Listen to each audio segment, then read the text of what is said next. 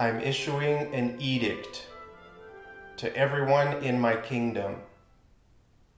Whoever does not smash the like button will get banished from my kingdom. I'm issuing an edict. An edict. Do you know what edict means?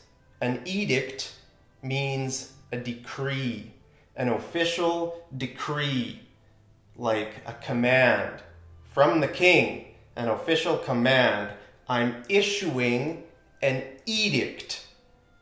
An edict. We use the word issue when we talk about an edict. To issue an edict means to give to give a decree, a command for everyone.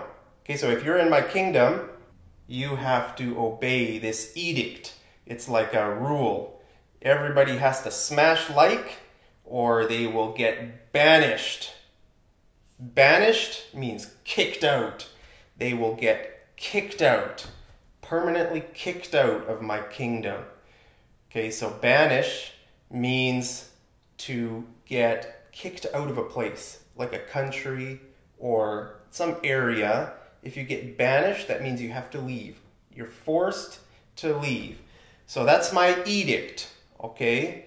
Everyone who does not smash like on this video and every video will get banished from my kingdom. That's my edict.